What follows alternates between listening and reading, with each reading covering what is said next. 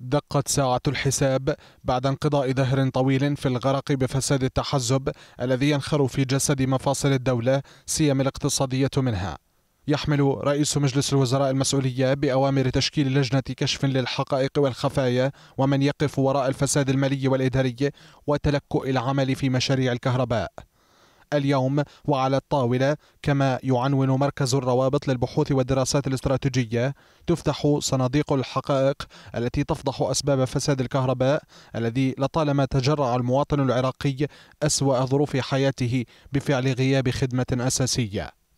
رعد محسن الحارس الذي شغل منصب وكيل وزارة الكهرباء لشؤون الإنتاج وهو المنصب الأول بعد منصب الوزير. حيث رافق أغلب وزراء الكهرباء وشاركهم فشل وزاراتهم المستحدثة بعد 2003 بدءا من محسن شلاش وانتهاء بلؤي الخطيب.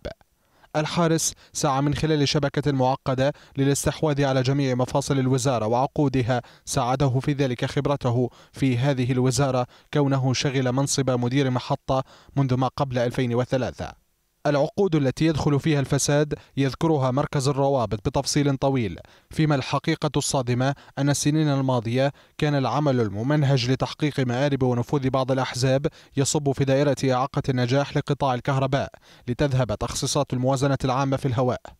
وفي كل قضية فساد يكشف العراقي شيئا فشيئا عن مليارات تذهب السودان بفعل أسماء ووجوه تلتف خلف تدمير العراق بموارده واقتصاده ما يؤجج لساحات الغضب الشعبي الذي يخرج ليطالب بالكهرباء والماء كما هي الرواتب التي لم تتوفر بفعل مديونية متفاقمة.